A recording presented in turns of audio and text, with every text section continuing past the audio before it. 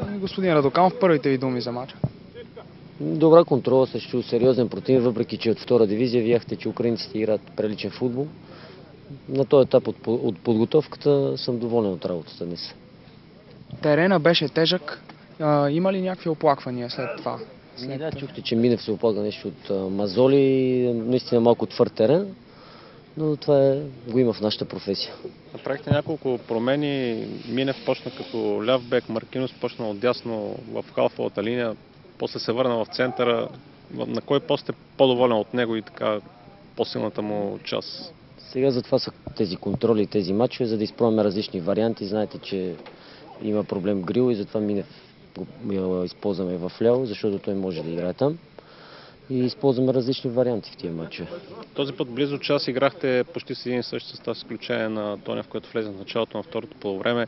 На този вариант ли ще залагате повече футболисти да играят по-дълго време? Сега имаме два матча за два дни, така че пак ще играят едните 90 минути и на другия ден други 90 минути. Последните два матча ще, вече ще трябва да играят повечето хора по на целия матч.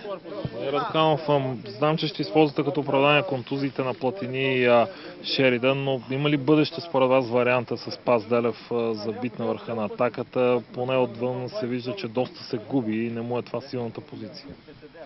И за сега това е вариант. Ние имаме Спас Делев, Костов, Йовчев, така че, че който вариант е най-добър, ще го използвам. Притеснява ли ви по някакъв начин нещо? Криете ли онзи ден и днес има така съгледвачи на Черноморец и от първите ви противници в първенството? Е, нормално е тук. И, и ние бяхме на техния матч, и те на нашите матчове да наблюдават. Но няма от какво да се криме. Ние си водиме подготовката, за да сме готови за първенството.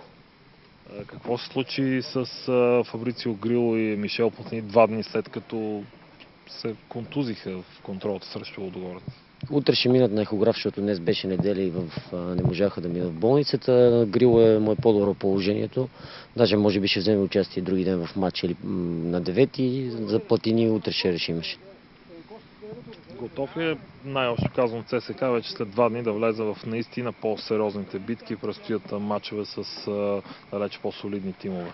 Най-важното е, че е готов физически. Видяхте, че днес Маркинис остана 90 минути повечето и се чувстват добре сега след матча споделиха.